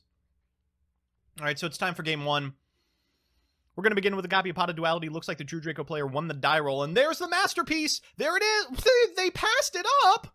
Card of Demise, the last card in hand. As always, at end step, they will send a copy of Dinomight Knight. That's what happens when you're playing more monsters. Lightning Storm. All right, so this is a pretty good start. Uh, we're going to go for Ignis to add a card to hand, and then Stormforth, I guess. Pot of Disparity afterwards. So Lightning Storm, Pot of Disparity. That's um it's a pretty good start. They banish six here, and they get a copy of Dino Wrestler Pankratops. Uh, they're going to go ahead and activate the effect of Incantation Talismandra. That's going to summon from deck a copy of Kandal and trigger the effect of Kandal for a copy of the Shinobird Ritual. They'll fire off Calling and go into a Peacock. They'll trigger Peacock's effect, shuffle back that Ignis, and then battle for 3k. Unfortunately, they don't have, it appears, the Yata in their grip, so they're going to have to be satisfied with two tokens and a pass. All right, we're going to go for the Disciples here, and uh, we do have a Tribute Summon available. We'll go for Heritage. That's one. The Ignis is going to have to kind of win the game on its own here. We'll Tribute Summon again for a Majesty Maiden. I mean, this is two very powerful monsters, but Still a pretty long road to hoe for the true Draco player. Uh, will interrupted Kaiju Slumber, I suppose. A Disciples of the True Draco Phoenix to the hand. That is going to be killer against the uh, the Masterpiece deck. And we're going for Shinobear and Peacock again, giving back that Kaiju just in case they intend to Masterpiece next turn, and proceed to the end phase getting two tokens. It's just one card in hand, folks. All right, they're going to go for a Pot of Desires. That's a pretty good one to draw off the top. Followed by a Disciples. They're going to activate the effect of Disciples to shuffle and draw. Three of those go back into the deck, and then we will fire the effect to Tribute Summon into a Dinomight Knight. They get over one of the tokens and then pass their turn. Back to Rebecca. She's going to draw. Activate Interrupted Kaiju Slumber. That's going to get the Dinomight Knight, allow them to activate the True King's Return. That's going to be a little hard to get over. They'll proceed to the battle phase and walk into... Oh... Well, it do be that way. Yeah, it uh it do be that way. Wow. It's really every single go second sweeper. Well, we still have to find a way to do the remaining uh, 3,500 points of damage. We're going to activate Into the Void here, and then pass turn, milling the entire hand. Nice masterpiece, by the way. Great masterpiece. And Maverick will surrender game one. How could this have happened? How on earth could this have happened? A deck as consistent and powerful as True Draco. Just reduced to nothing. I just, I can't imagine it. Time for game two. All right, we're going for the terraforming. We found Divine Wind of Mist Valley, and it looks like uh, Maverick is caught on and is making this deck go first. Yata-Garasu, the normal summon that'll trigger Divine Wind of Mist Valley to end step and go to a Barrier Statue of the Stormwinds. Really good against anything but this exactly. Dragonic Diagram, let's come down, activate Monarch Stormforth. Oh no, tributed for a Dragonic Knight. They'll uh, sack a copy of Into the Void, set one card, proceed to the battle phase, and do 2,800 points of damage. We just gotta out that and we can Yata lock our opponent. We're gonna set one card and pass. Oh no, did Rebecca brick? Oh no. Oh god, and here he comes. Disciples pop the last remaining card. Heritage effect. We'll draw a card here. We'll tribute summon. Oh, that's a big one. Okay, so there's Masterpiece. It is on Spell Monster. Good luck. That's pretty good. Uh, Destroy all spell traps is very powerful. Going for the Dinomight Knight here and Rebecca is going to surrender. Wow, a very quick game too, but doesn't really have a good out to Masterpiece in this matchup outside of Kaiju's, and clearly didn't have one. All right, let's go to that all-important game three, and Rebecca is making making the true Draco players start. Very funny. They're going to lead with a Disciples. Uh, they're going to activate Disciples as effect, and then normal summon a uh, Dinomight Knight, activating Card of Demise. Terraforming comes afterwards into a Dragonic Diagram. They always seem to have it. Dragonic Diagram here, pop popping a set card in order to get a copy of Heritage. Heritage effect. I believe we draw one here. We'll go ahead and, oh, take two, set two, pass on a Pot of Desires. Jesus Christ. All right, we'll lead with a copy of Talismandra and that procs Dynamite Knight and the Monarchs Erupt. Holy shit, the AoE skill drain. Oh, this might be it. Okay, we'll go for Pot of Disparity. In games 2 and 3, this card is crazy. Lightning Storm seems very good, but not when you already have monsters on your side of the field. Uh-oh. We're going to take an Interrupted Kaiju Slumber instead. Fire that bad boy off. Down comes Gadarla. We're going to set one card and proceed to the battle phase, walking over the Kaiju, and then pass turn. At end of Maverick's turn, if they don't control a tribute summon monster, this Monarch's Erupt will be going to the graveyard. They're going to pop a Teekboo for a Masterpiece, activate Stormforth, and oh shit. Oh God. Okay. Uh, there is the biggest masterpiece I've ever seen. But Dragma Punishment coming down and Solemn Judgment, the response. Oh no. Oh no. Okay, Kaiju Slumber is pretty good. So we can get a copy of Gamciel. We contribute over the masterpiece. That's something. Shinobird calling. Okay, Shinobear and Peacock, go to the battle phase we again if we could just if we could just get rid of that fucking monarchs erupt it'd be fine. Masterpiece gets to come back but a masterpiece that's come back under true king's return really sucks ass. They're to switch it to attack position i'd imagine. No they're to pop it for this uh, dragonic diagram and then proc it. Oh we're just to attack. Wow okay uh heritage effect draw a card. I guess we'll tribute summon and proceed to the battle phase. And that and that's just it. Wow and uh, unfortunately it would appear that true draco has advanced well, folks, it is time for round two. And eight decks remain. Gem Knight, Virtual World, Dinosaur, Bird Up, Dark Warrior, Pendulum, Magical Explosion, and True Draco. So, who's winning this next one? Gem Knight or Virtual World? Chat seems to think that it's going to be Virtual World. I I agree, but you know, let's find out. All right, so a lot depends on the die roll, and Virtual World won the die roll. Okay, so we're going to lead with a copy of Nyan Nyan, sending the new trap to the graveyard. We're going to follow it up with a Kaloon. Activate Kaloon for a Chuche and go into a Stardust Charge Warrior to draw a card. We'll draw a card off the top of the deck, then fire off the Lao targeting the Chuche and summoning back a Lulu. We'll activate Nyan Nyan's effect in graveyard, and we'll make a copy of Shen Shen. We'll trigger the effect of Qinglong, draw a card, pitch a card, and activate ZC's effect as well we're going to, I suppose, go into a Gossip Shadow. Linlin as well is going to trigger here. I guess we can make Tolme. That's happened a couple of times. Yeah, Tolme time.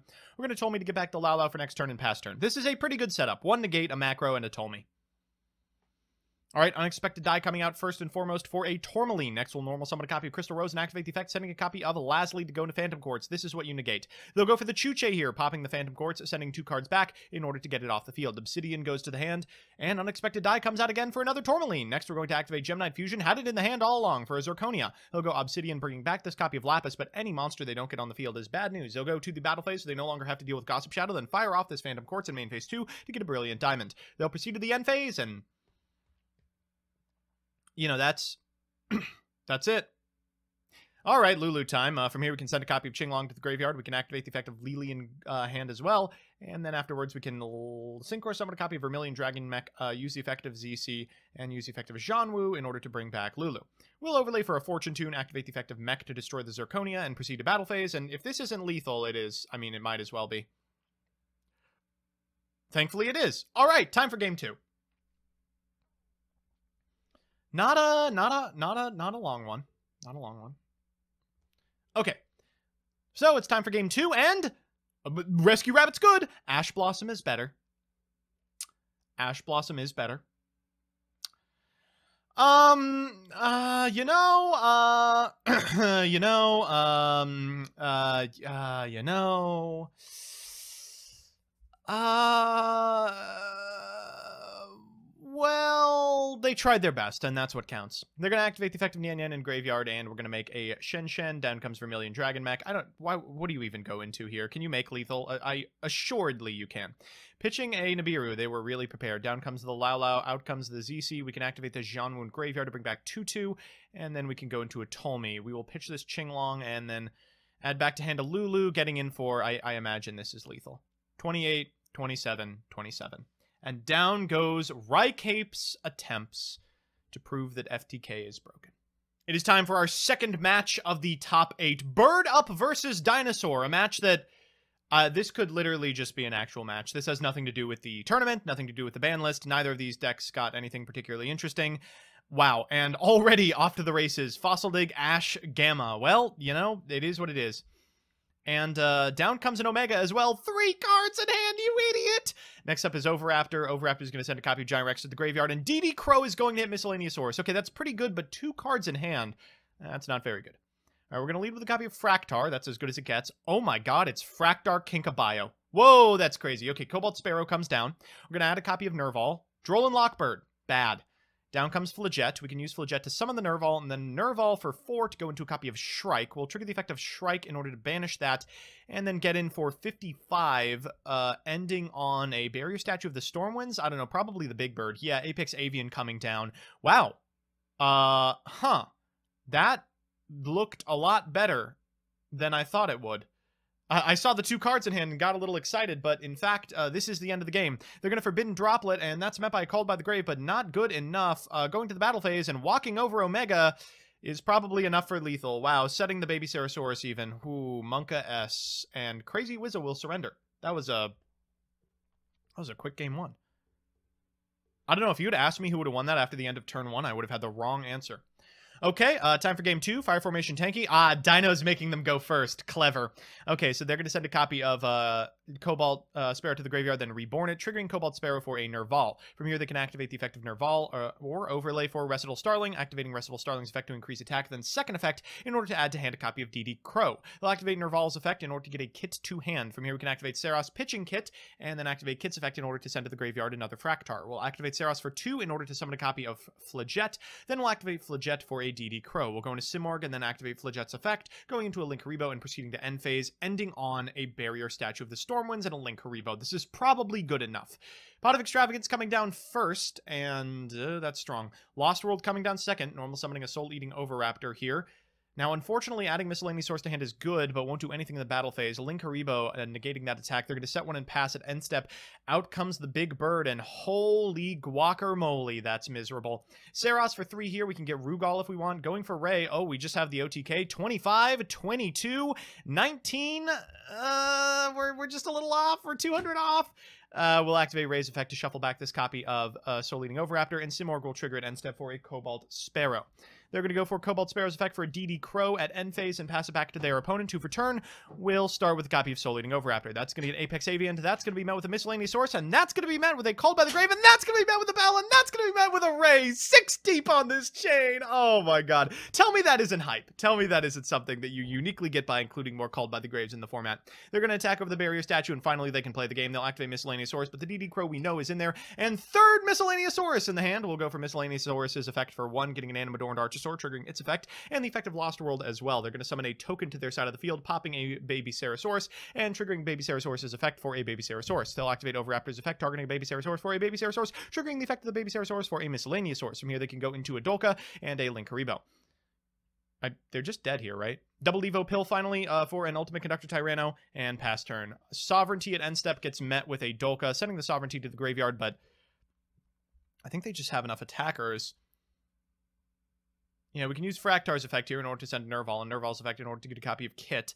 Uh, we'll go for Forbidden Droplet. Wow, sending the wow, sending the spells to go into a Shrike. We'll trigger Shrike's effect, and then normal summon a Kinkabio to go into Assembled Nightingale. Whoa, that is so painful. All right, they're going to just fire off all their negated monster effects, I suppose, to BM. They'll go to the battle phase, triggering the effect of Linkuriboh. It's negated, so they'll walk into everything, and then they'll go into a Downerd and a Zeus. They'll go into a Flaget and trigger the effect of Flaget for a kit before going into a Rugal, so they have this Shrike online as well. Their opponent draws for turn. They're going to go for a Miscellaneousaurus for two. That prompts the Rugal. That prompts the ultimate conductor Tyranno, which only outs the Zeus. They go for a Cobalt Sparrow, and then on a new chain, we can trigger the effect of Shrike, which will activate on a further chain than the Lost World. So you can banish the Lost World. New Lost World, but going to be tough. Walking into the Linkuriboh and, you know, using the Linkuriboh's effect in Graveyard to send that Cobalt Sparrow, then passing turn. Petiteranodon does destroy itself at end step for a Pankratops, and that does trigger Lost World, but that's probably all she wrote. Uh, draw for turn, Zeus flipped up, Apollousa for two that's enough. Battle phase, attack into the Pankratops, Pankratops effect, Apollousa effect, and we have got there, ladies and gentlemen. Wow! That was poggers.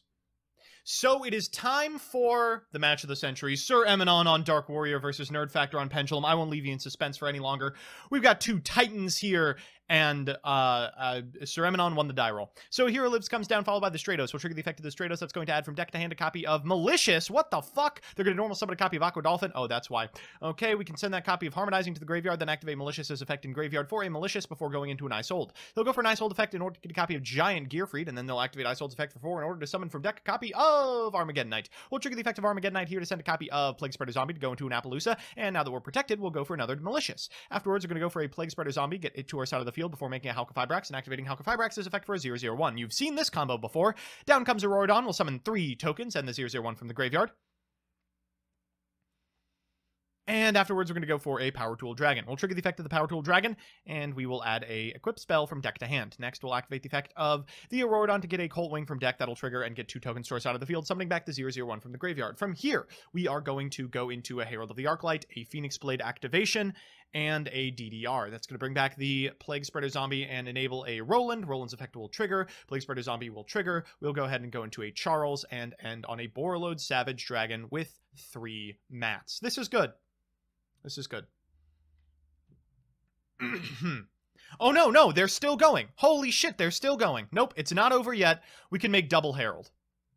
We can rip two cards. Rip two cards? Yeah, fine. Who cares? Doesn't mean doesn't mean does uh, do, nothing nothing. Yep, all good. Uh, okay. Stargazer Magician and Wisdom Eye. They're going to negate the Wisdom Eye activation. Seems correct. Normal summon tuning, tuning effect take 400.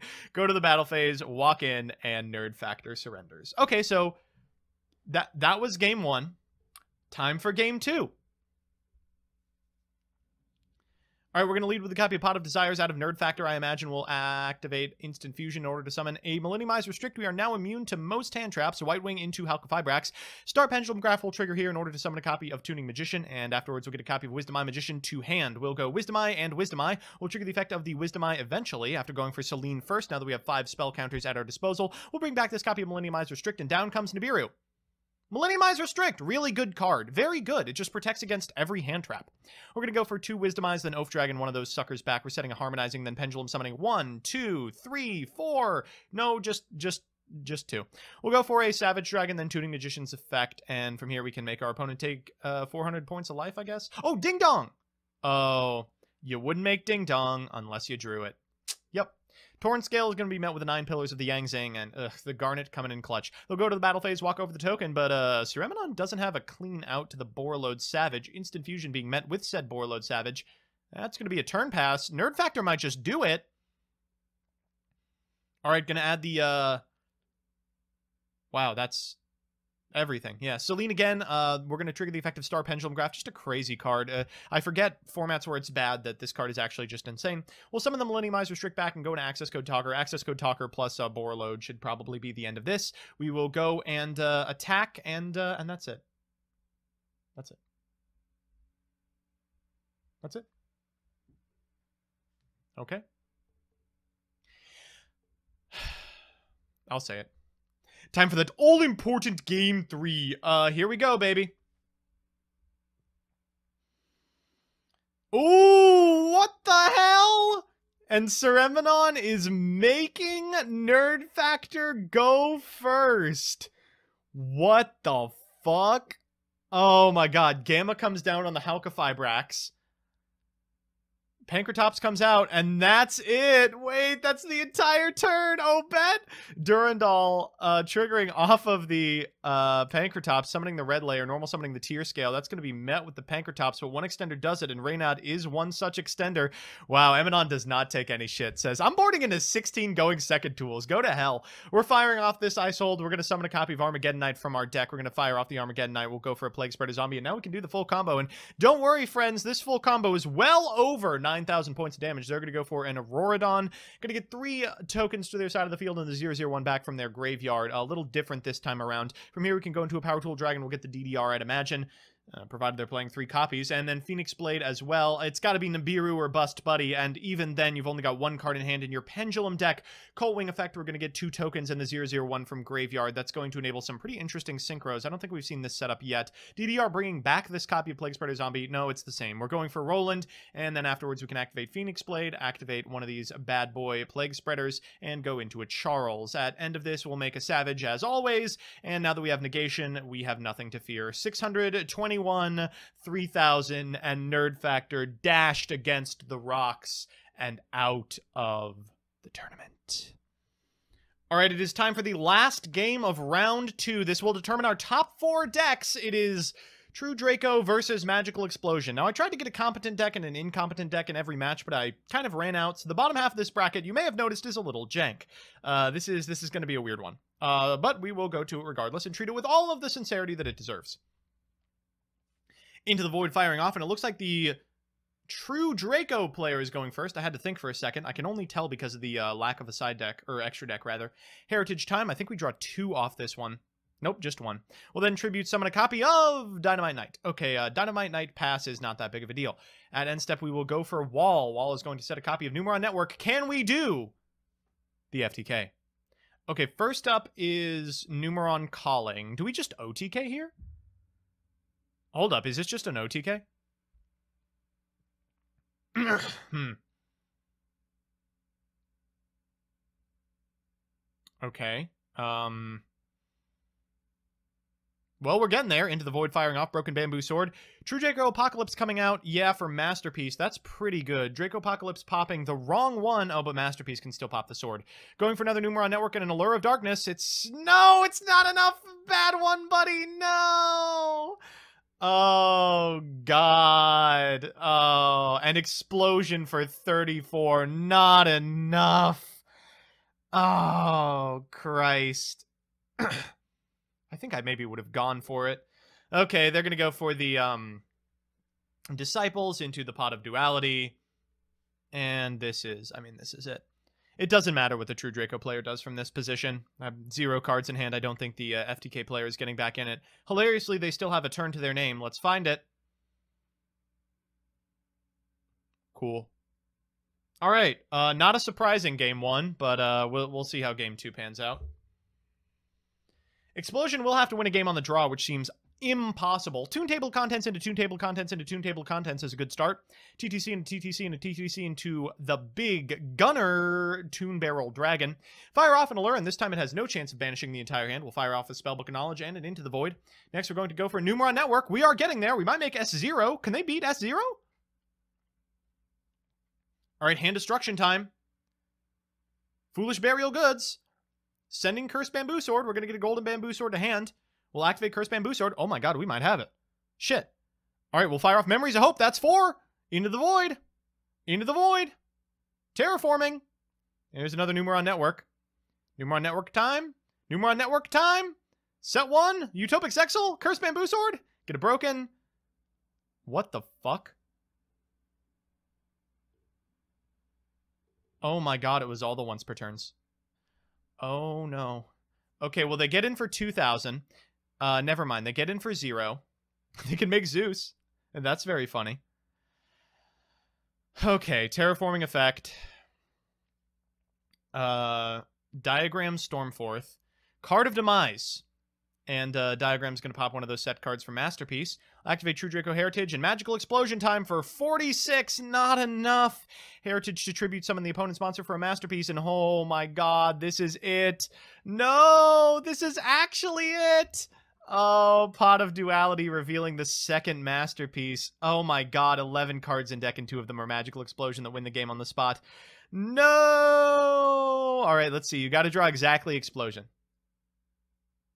Allure? No, wasn't enough. Eight cards to Explosion. Oh, how painful. Ugh. Well, sorry, Space Dandy. Wait, do we still have a turn? We don't. Looks like Magical Explosion has exploded its last magician, and True Draco will be moving to the top four. So it is time for the top four. We've got four decks still in, and my tournament where I aim to show everyone that my changes won't absolutely ruin Yu-Gi-Oh! We've got Virtual World, Bird Up, two decks that you all know and love, two current meta decks. Clearly the meta is fine. And then we've got Dark Warrior and True Draco. Hmm. It is possible that Malicious and Master Peace were a mistake. But for what it's worth, this is the evil side of the bracket, the bracket that has very few competent decks. Like, I don't seriously think either of these decks are going to be able to beat anything that knows what it's doing. And speaking of decks that know what they're doing, we're going to start with the Bird Up versus VW match. This is Rin PG333 versus Gaia76. Chat seems to think that Bird Up is going to make this happen. I don't know upon what. So let's head over to the dueling screen and see if they are right. All right, we're going to begin with a copy of Pot of Disparity, finding off the top. Okay, all right. An emergency teleport. Looks like the virtual world player has one that I roll. They're going to begin with a copy of Chuche and then activate Lulu targeting Chuche, sending the Reborn to the graveyard, and activate ZC's targeting the Lulu. They're going to go for a Juju and then activate Lao Lao's effect, sending Chuche. They'll then go into a Shen Shen, activate E Telly, summon a copy of Nian Yan, and activate Chuche to put that sucker to 3. That way they end on Gossip Shadow plus Shen Shen plus Lulu for next turn. Pretty respectable start. Next, we've got Forbidden Droplet. so, you know, have fun with that. Ooh, and a called by for the Ash too. Gets better. All right, can Rin establish a winning board state right here? That's basically what they've got to do to win from here. Uh, Nerval effect. They're going to get a copy of Saros to hand. They're going to normal summon the Saros. Does not happen often, but every time it does, it's a hoot. They're going to go for Rugal and Shrike. They'll trigger the effect of Shrike and the effect of Rugal to decrease the effect, the attack of everything, and basically just pass on Shrike. Okay, that's not actually a winning board state. They might be able to lose this. They'll activate Chuche to begin with to get a copy of Lao Lao to hand, sending the Reborn. They'll activate Lao targeting the Chuche, and sending a Yan Yan so they can get a ZC from graveyard. This triggers in Yan Yan after the ZC is reborn, and they'll make a Stardust Charge Warrior. From here, they can draw a card, and we'll go ahead and put one of those uh, face down cards back in. We'll go for a copy of Lulu, and then get a copy of Chuche to hand before making Vermilion Dragon Mech, and using Vermilion Dragon Mech to pop the Shrike. Upon activation of the Shrike, oh no, we'll activate Ash and forget that Called by the Grave is on. Oh, fool. All right, pass back to Rin, and they've actually got a pretty big open here. Foolish Burial sending a copy of Cobalt to the graveyard means the Turquoise Warbler will be able to summon it back and trigger the effect of Cobalt Sparrow, getting a copy of Nerval to hand. From here, we'll overlay for a copy of Assembled Nightingale and proceed to the battle phase, walking in for 400 twice. And then in main phase 2, of course, we can make Downerd and Zeus, or just Zeus if you prefer. We'll go for the Zeus because we know the set card is Chuche, and they will chain... They'll chain Whoa, they'll chain Chuche targeting their own card! When Vermilion Dragon Mech is sent to the graveyard by a card effect, you get to add a card from your banished back, and they get the Lao Lao. That's so crazy! Alright, well, they do get to end on Simorg into Mist Valley Apex Avian, so this is still a pretty big setup. All right, Qinglong effect. We're going to get a Lulu and send a copy of Lalo to the graveyard, going for the Reborn, and down comes the bird, and down comes the Gamma, and down comes the Ash Blossom. Oh my god, and there goes the game. Wow. Um, Simorg to the graveyard, but anything will end this. We even get to get the Zeus again. Drawing for turn and a normal summon does it. Saros is good enough, and Gia will surrender. That was... Whoa, that was so good. Oh, that was so good. All right, on to game two. Okay, so for game two, I imagine the virtual player is going first again, and yup, here's the pot of disparity. We'll go for the pot of disparity and find off the top. God, the Kaloon. Oh, getting the Lao Lao instead. I guess we already opened the Kaloon. Kaloon for a Chuche, and then Lulu targeting the Chuche. This is as good as it gets. We'll go ahead for a copy of ZC, and then we'll activate ZC's effect, and then we'll activate the effect of the Nian Yan in graveyard later in the turn after we Lao Lao targeting our Juju. We're going to send a Chuche to the graveyard, and then trigger the effect of Nian Yan. We're going to go into a Shen activate the effect of Nian Yan, putting one of these banished uh, ED monsters back. Chuche effect sending a Kaloon. Lili effect sending a Chuche. and a 2 2, and ending on Beatrice, in fact, uh, using Beatrice's effect and walking into an infinite impermanence. That's odd. Why would you infip Beatrice now? Seems like you would do it on your turn. Ah, I see. Okay, you drew two infip. All right. We'll go for Pankratops. Activate Pankratops targeting the Chuche. Uh, we'll activate Fractar's effect. Oh, and a huge misfire. Didn't expect the nail Shadal aerial, did ya? It's just as good as Lancia, banishing the entire graveyard here, and then Saros into Lancia as well. Holy shit, they had everything. Whoa, they had everything. Oh, that's crazy. Oh, Jesus. All right, so it's time for that all-important game three. Will Rin be able to do it? They're on the play this time. Warbler into... Oh, no.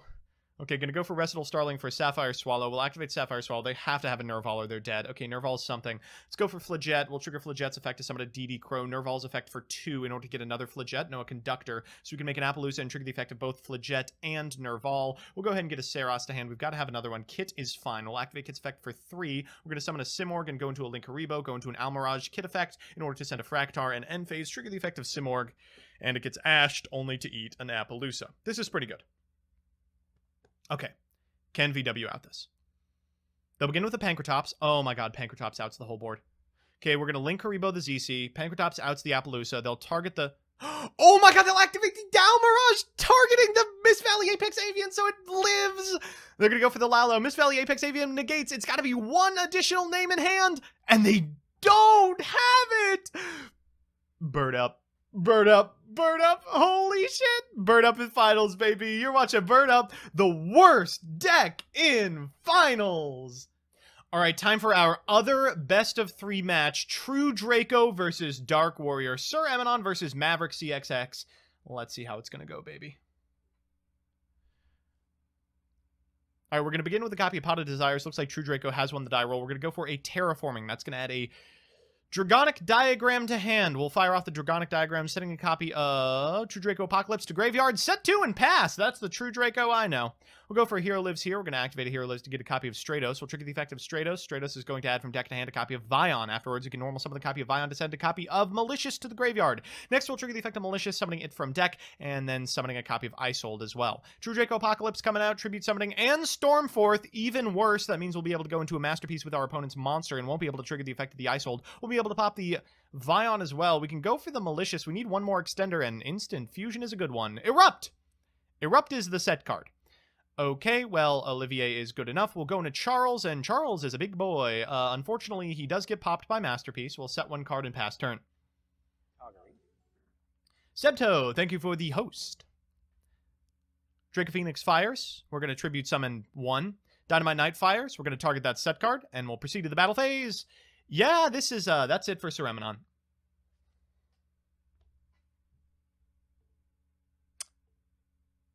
I may have made an egregious error here. Time for game two. Well, this time Sir Emanon gets to start. We're going to start with uh, the Rhoda for Noble Knights, followed up with Torn Scale, and followed up with Ancient Cloak. That's going to add a Silent Boots to hand. We'll summon the Silent Boots and make an Isolde. We'll go for Isolde's effect. Isolde is going to add a Gearfried. Afterwards, we're going to fire off Isolde for four. That's going to summon from deck a copy of Armageddon Knight. Armageddon Knight will proc in order to send a Plague Spreader Zombie, and so will the Silent Boots to get a copy of Shade Brigandine. We'll tier scale here because a monster was banished, so we can go to Apollousa, and now that we're protected, we'll go for Shade Brigandine and activate Plague Spreader Zombie's effect as well. We'll make a Halqifibrax and then activate Halka Fibrax's effect for 001, and from here we can go into an Auroradon, activate Auroradon's effect for 3, and summon the 001 from the graveyard. After that, we can Synchro Summon, I imagine, a copy of Herald. I don't really know what the play is right here. No, just make a Power Tool once again. I At some point, I'll actually figure it out. We'll activate the effect of Auroradon, sending both the Power Tool and itself to the graveyard for Coltwing, and then triggering Coltwing's effect for 2 tokens, which will trigger the 001 in the graveyard once again. From here, we can use the token and the 001 to make a Herald, and get that copy of Phoenix Blade back to hand before DDRing the Phoenix Blade to the graveyard in order to get a Plague Spreader Zombie and make a Roland. Afterwards, we'll activate Roland's effect and activate Plague Spreader's effect, summoning it from the graveyard to make a Charles. Finally, we're going to make a Borreload Savage in defense position, playing around as best we can some really powerful uh, equalizers. We'll go for Charles' effect at end step and equip two cards before passing back to our opponent. Let's see what they got!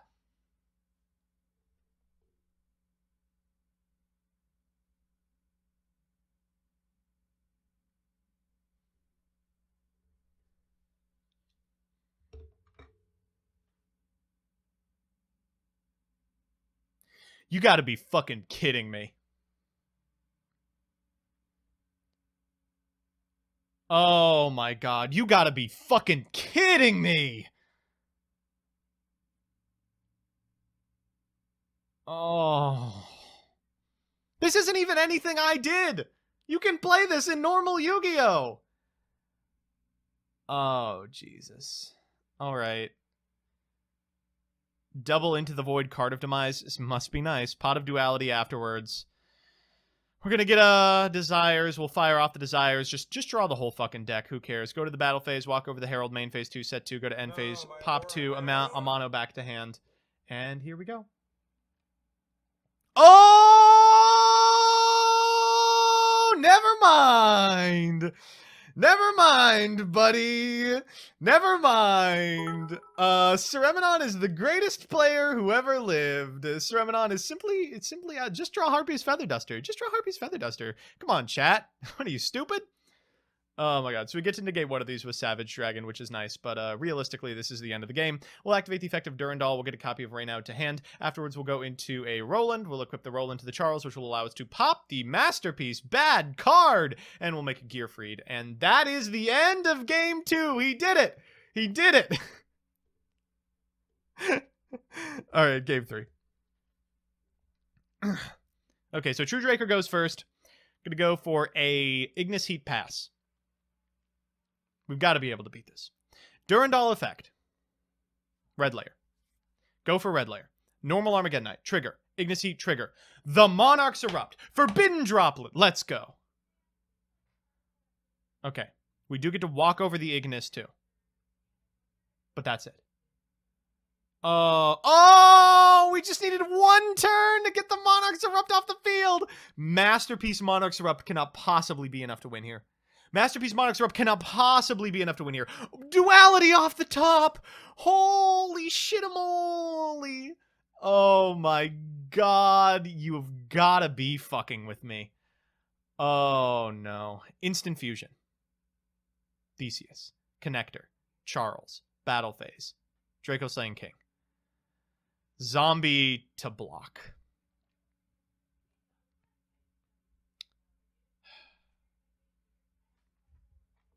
And desires. Why wouldn't it be desires? Completely unnecessary, but why wouldn't it be desires?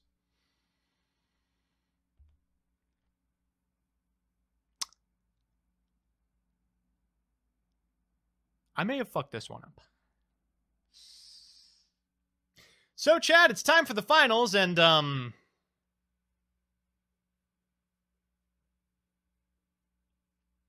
how am I gonna spin this? Uh, it wasn't actually Master Peace. It was uh, uh, it was uh, the Monarchs erupt. It was Mystic Mine. It was a Mono Awado. We have to ban those cards. It, it doesn't matter that the deck has three Master Peace. They're not even playing three. They're playing two. It's not. It's not that good. Come on. Uh, our finals, unfortunately, are Rin PG three three three on Bird Up, and Maverick CXX on True Draco. Um, yeah, uh, you know, I, uh, I, I, uh, I wish best of luck to both the competitors. True Draco has won the die roll. They're going to begin with Pot of Desires, and holy shit, set four, that's an FTK. All right, Fire Formation Tenki coming down first for a Fractar. They're going to activate the Fractar effect, sending the Fractar to the graveyard, followed by the Nerval. They'll trigger the affected Nerval for a kit. Next, they're going to normal summon the kit, one of those hands, A, and then go Apocalypse into Stormforth. Jesus Christ. We'll tribute summon a copy of Ignis Heat and activate the effect of kit. We'll trigger the effect of Saros to summon itself, then activate Saros' effect. Why are they not Ignising? They're going to Ignis now and eat the Forbidden Droplet and eat the Monarch's fucking erupt. Oh my god. All right, we'll pass turn. We just need one turn. One turn without a tribute summon to monster. Yeah, why not? Yeah, why not? Why not? Why not? Hey, I why not? Why not? I why not? I uh, why not? You know, you know, why not? Why not? Let's go to game 2. Oh, and Rin is making the True Draco player go first.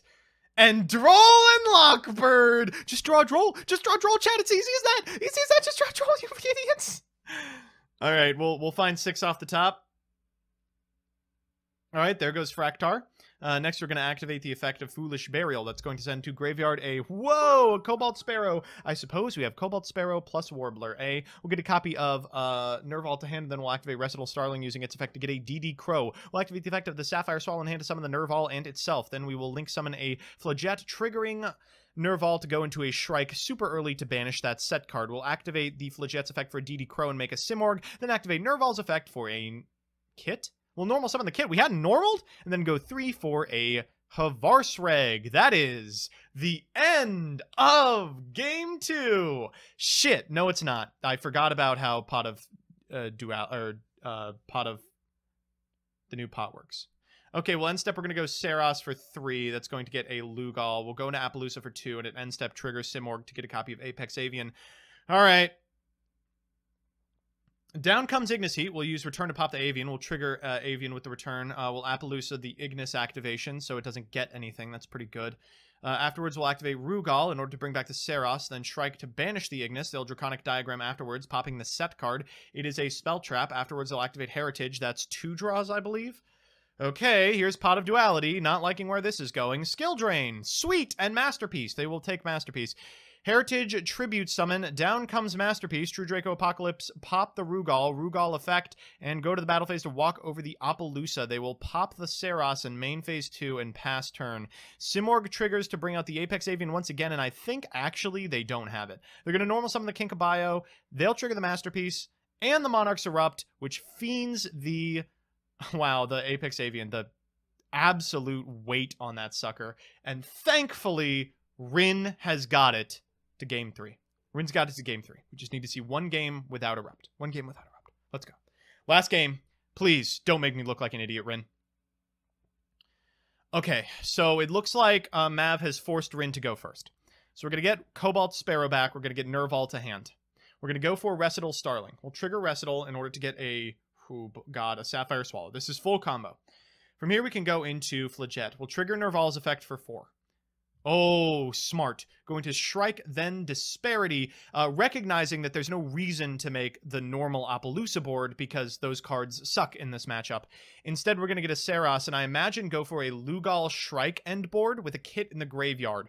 Okay, so if we banish here three, we get Lugal, we go to end phase, we go Simorgh, we have a banish, we have a negate. It should be enough. Okay, Desires is a good start.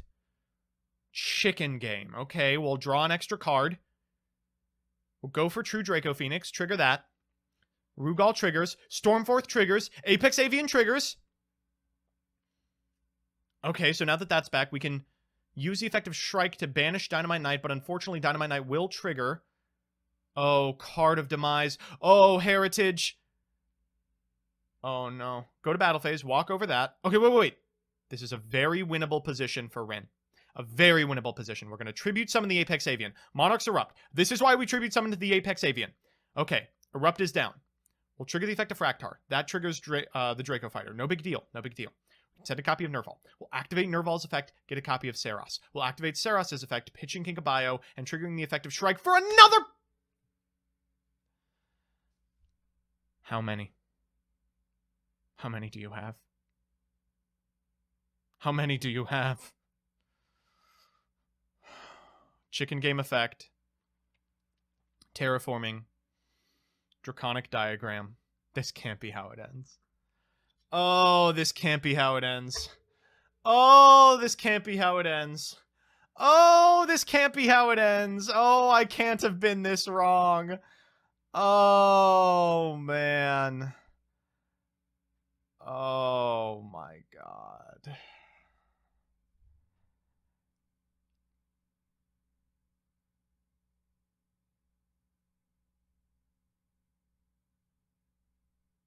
And True Draco playing two copies of Master Peace wins the whole thing.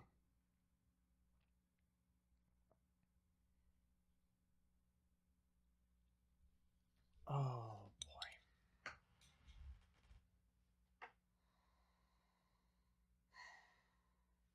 So of the cards we have here, I would say that I am not comfortable bringing this asshole back. The last thing that deck needs is a win con.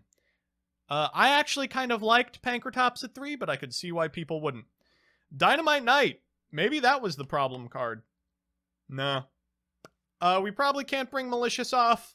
I don't think we really got to see a good show off of Sky Blaster, but I am willing to take that off for spec.